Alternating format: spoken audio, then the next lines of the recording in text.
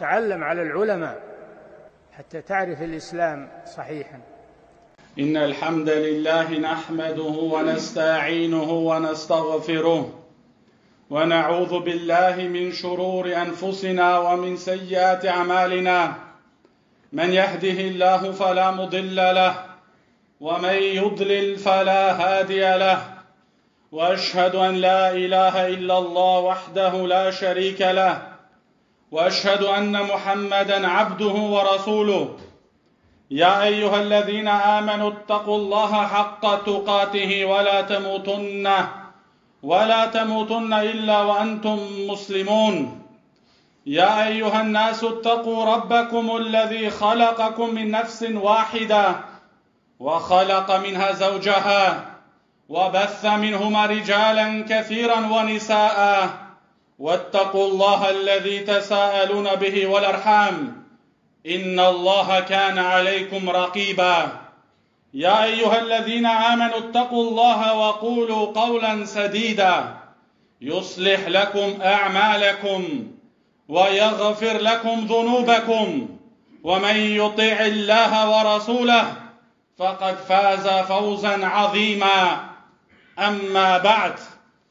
فإن أصدق الحديث كلام الله وخير الهدي هدي محمد صلى الله عليه وسلم وشر الأمور محدثاتها وكل محدثة بدعة وكل بدعة ضلالة وكل ضلالة في النار وبعد اي مسلما اي مسلما الله يرضى urdhëroj robërit Që ta mësojnë të vërtetën dhe ta kërkojnë të vërtetën, të jetë robi i përpjekur për ta njohur udhëzimin, Allahu i Lartësuar ka bërë dallim mes të vërtetës dhe të kotës. Thotë Allahu i Lartësuar, Dhalike bi anna Allaha huwa al-haq, wa anna ma yad'una min duni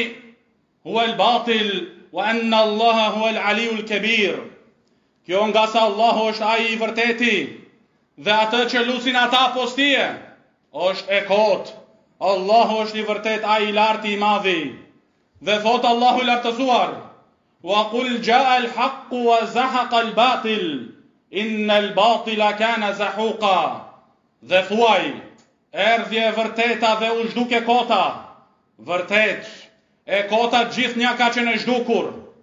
Dhe gjithashtu thotë Allahu i lartësuar, bel naqdhifu bil haqqi ala al batil, fa yadmaghuhu fa idha huwa zahiq. Përkundrazi, ne të pavërtetën e godasim me të vërtetën dhe ajo e vërteta triumfon mbi të, ndërsa ajo gënjeshtra zhduket. Dhe gjithashtu thotë Allahu subhanahu wa taala, Fa madha ba'da al-haqq illa ad-dalal. Pas të vërtetës nuk ka tjetër pos devijimit. O ju muslimanë, duhet ta duam të vërtetën dhe ta njohim dhe të kërkojmë rrugat e udhëzimit. Allahu i lartësuar ua bëri besimtarëve të dashur të vërtetën përkrahjen e saj dhe thirrjen në të. Kurse të kotën ua bëri të urryer. Prandaj çdo musliman e ka obligim. Çdo musliman e ka obligim me jetuar si dashamiras, si dashamiras ndaj të vërtetës dhe përkrahës të saj. Muslimani nuk bën kompromise. Muslimani nuk bën kompromise në llogarinë e së vërtetës dhe nuk e shit të vërtetën për interesat e kësaj bote. Nuk e shit fenë e tij Nuk e shit këtë dhunti madhështore për interesa kalimtare. Se shumë prej njerëzve, se shumë prej njerëzve e shesin të vërtetën, të vërtetën që ata e njohin, ata e shesin për shkak pozitave, gradave, punësimeve dhe shoqërinë që e kanë. E njohin të vërtetën dhe pastaj ia kthejnë shpinën, sikurse nuk kanë dëgjuar për të asnjëherë, E gjitha kjo për shkak lakmisë. Lakmia që ua ka thyer qafat e atyreve.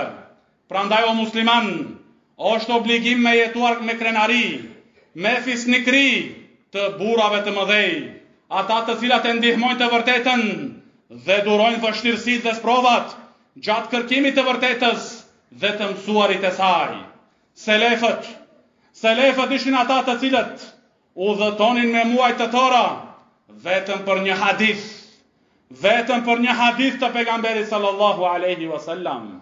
Largoheshin nga familjet e tyre, nga vendlindjet e tyre, për shkak sunnetit të pejgamberit sallallahu alaihi wasallam.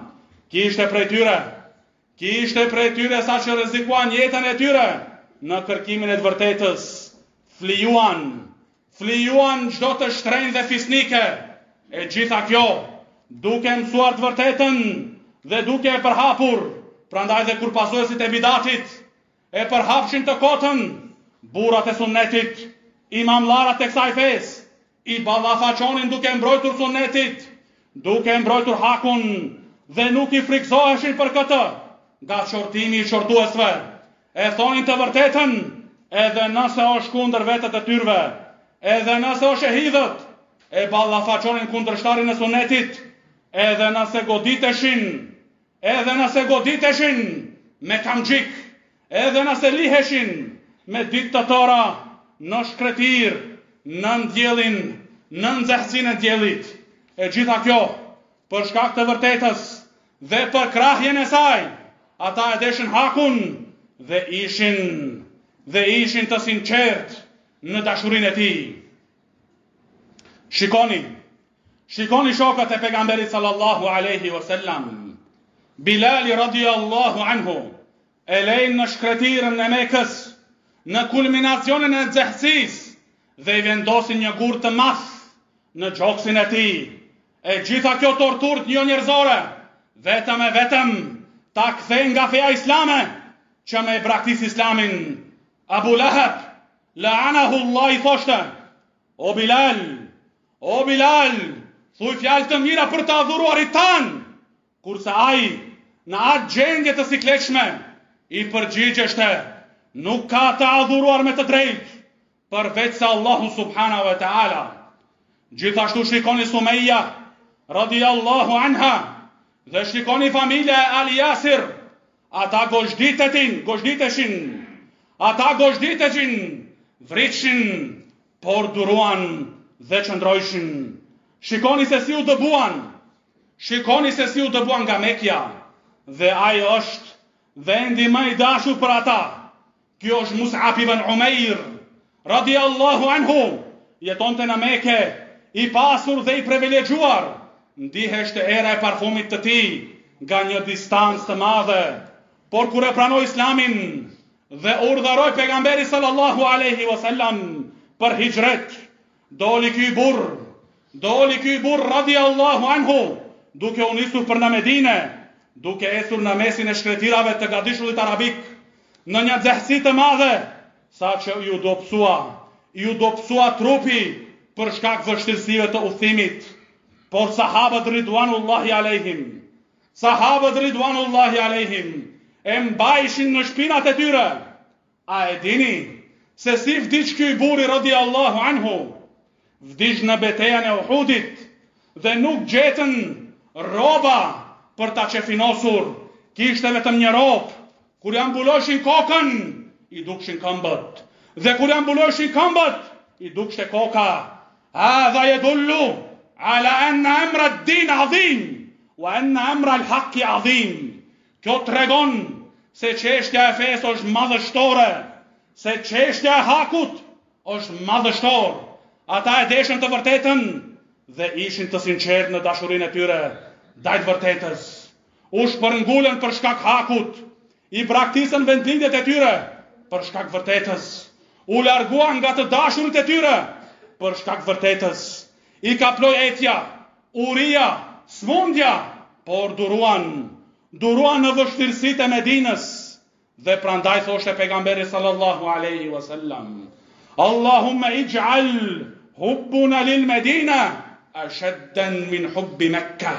O Allah, na e bëj dashurin tanë për Medinën ma e fortë nga dashuria ndaj Mekës. Meka Meka për të cilin Pejgamberi sallallahu alejhi ve selam tha, Ahabbu ardin ileyya, vendi ma i dashur tek unë. Meka, kur i tregoi Waraq ibn Nawfal Pejgamberit sallallahu alejhi ve selam se populli yt do të nxjerrë nga Mekja dhe do kesh Dhe do kisha dëshirë të madhe të jesha i gjallë që me të përkrahur, i tha Pejgamberi sallallahu alejhi wa sallam, duke u çuditur, a do më nxjerrin nga ky vend ku jam rritur dhe e dua shumë. Kullu hadha min ejli hadha din. Kej ta'lama ejuhel abith.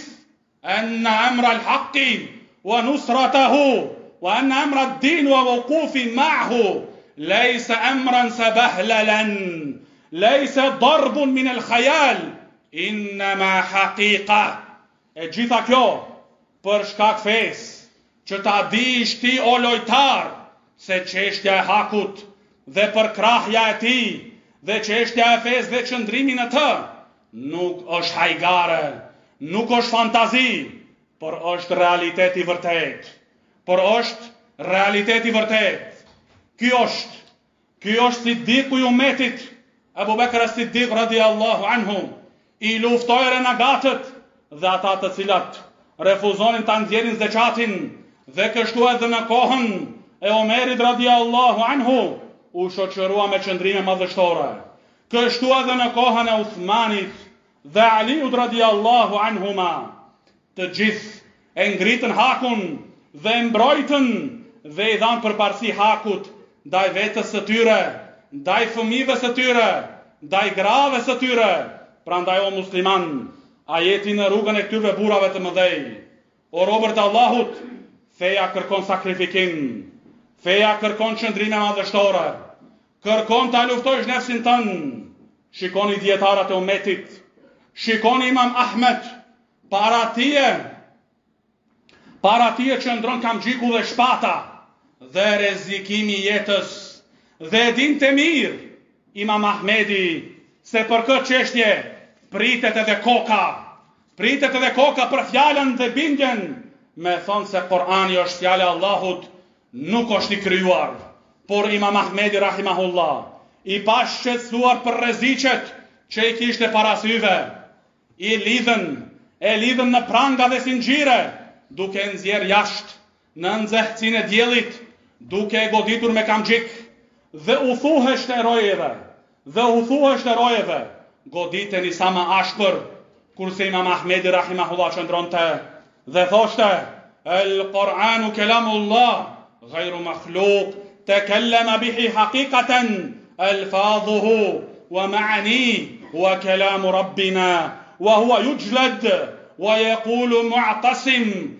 يا أحمد يا أحمد قل إنه مخلوق أفك عنك الحديد بيدي وهو يقول لا بل القرآن كلام الله غير مخلوق قرآني فوشتي إمام أحمد رحمه الله قرآن يشعل الله nuk është i krijuar.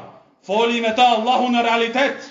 Fjalët dhe kuptimet të gjitha janë fjalë e Zotit tonë dhe ai ishte duke u goditur në këtë rast me kamxhik, kurse Mu'tasim, kurse Mu'tasim el-Khalifa i thoshte, O Ahmet, o Ahmet, thuaj se ai është i krijuar, unë personalisht me duart e mia do të të liroj nga prangat dhe zinxhirët. Kurse Imam Ahmedi rahimahullah i përgjigjeshte, Kur'ani është fjala e Allahut, nuk është i krijuar. Dhe ky është, dhe ky është Ebu Ismail el Harawi, rahimahullah, vendosën shpatën në qafën e tij,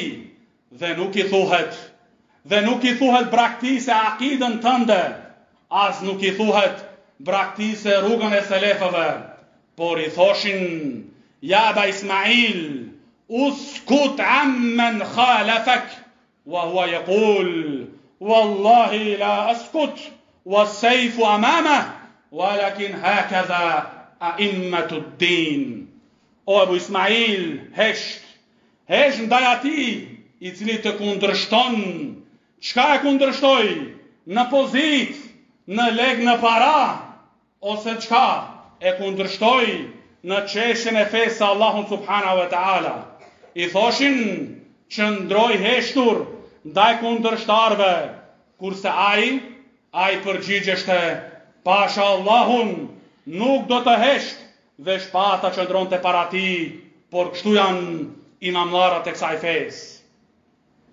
Kurse ti sot, kurse ti sot as nuk je në gjendje me e ndihmuar dikën që i është bërë padrejtësi, e si mendon ta ndihmojsh fenë e Allahut subhanahu wa taala, sepse frika yte është mos e humbish punën, pozitën, paratë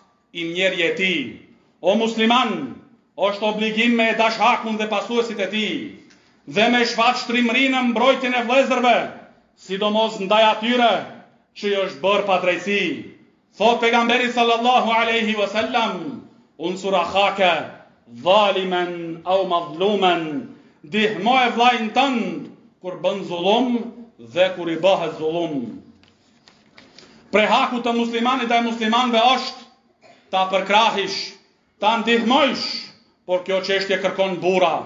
Burra që e duan hakun me sinqeritet, prandaj nuk shqetsohen për interesat e tyre personale. Thotë pejgamberi sallallahu aleyhi wa sallam, ala, lem, ala la jemne'anne rexhulen, hejbetun nasi, en jekula bi hak, Sahhahahu al-Albani rahimahullah, thotë i Dërguari sallallahu alejhi wa sallam, Mos e pengojnë, mos e ndalojnë njeriun frika nga njerëzit për me e thënë të vërtetën. Mos e ndalojnë dhe mos e pengojnë njeriun frika, frika nga njerëzve Që me e thënë të vërtetën, asnjëherë, asnjëherë le të mos bëhet frika nga njerëzit, shkak që të jetojsh një jetë të frikacakëve. Patjetër duhet të dallohet rruga e hakut nga rruga e të kotës, përndryshe nuk ke qenë i sinqertë, nuk i ke dhënë përparësi hakut ndaj parave, ndaj parave dhe ndaj interesave personale. Imamllarët e islamit Imamllarët e Islamit flijuan shpirtrat e tyre, gjaqet e tyre, braktisën vendlindjet dhe vendbanimet e tyre, që ky Islam, që ky Islam me mbri te ty, që me mbri sunneti i Pejgamberit sallallahu alejhi ve sellem te ty, që ta nuhasish erën e menhexhit selefi, kurse ti je në gjumë, kurse ti je në gjumë. Barakallahu li wa lakum fil Kur'anil Adhim.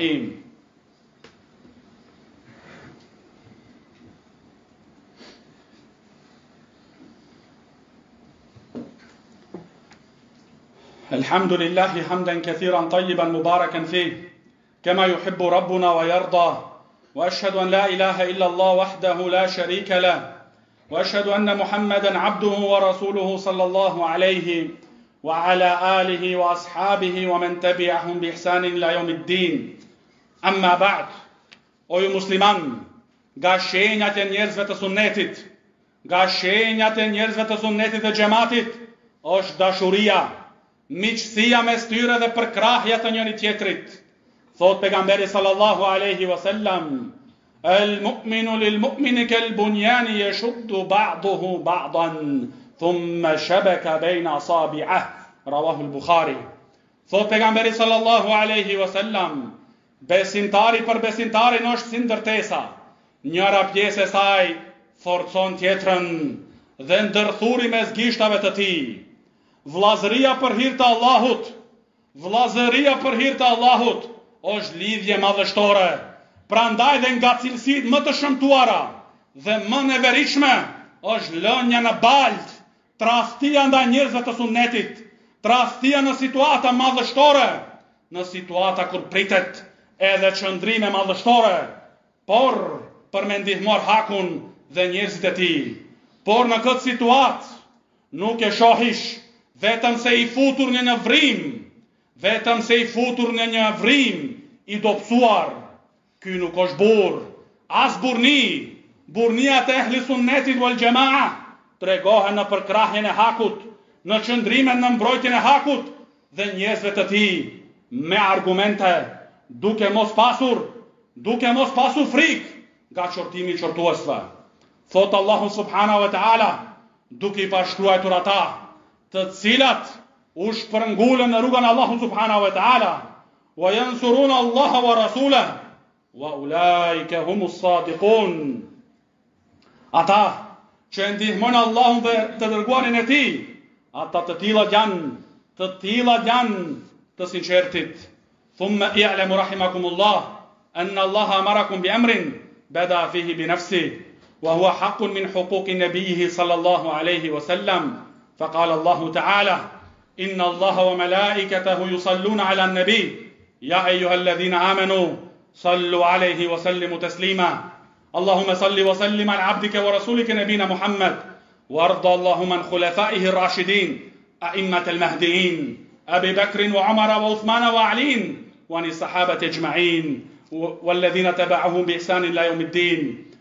اللهم عز الإسلام والمسلمين وأذل الشرك والمشركين اللهم احفظ بلادنا وبلاد المسلمين اللهم أصلح أحوالنا وأحوال المسلمين اللهم أصلح حكام المسلمين اللهم أرنا الحق حقا وارزقنا اتباعه وأرنا الباطل باطلا وارزقنا اجتناب عباد الله إن الله يأمر بالعدل والإحسان وإيتاء ذي القربى وينهى عن الفحشاء والمنكر والبغي يعظكم لعلكم تذكرون فاذكروا الله يذكركم واشكروه على نعمه يزدكم ولذكر الله أكبر والله يعلم ما تصنعون تعلم على العلماء حتى تعرف الإسلام صحيحا